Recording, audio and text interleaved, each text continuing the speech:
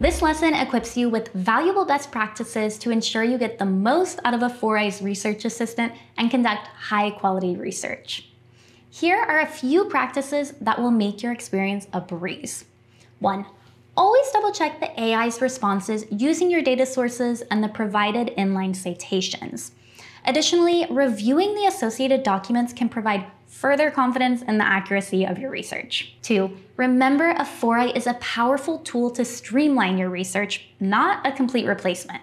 Critical thinking and analysis remain your responsibility. Three, the quality of your prompts directly affects the quality of your results. Take the time to craft clear, detailed prompts that accurately reflect your research needs. Here are some advanced tips you'll find super useful.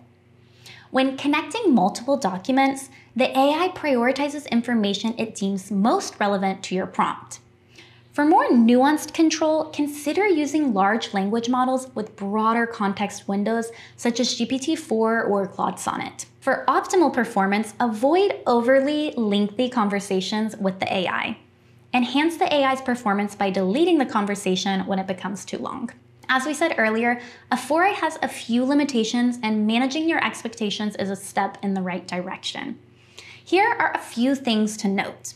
One, a strong internet connection is crucial for a smooth Afforai experience. Two, don't hesitate to contact Afforai's customer support if you encounter technical issues beyond your control. And that's all for this lesson. Catch you in the next one.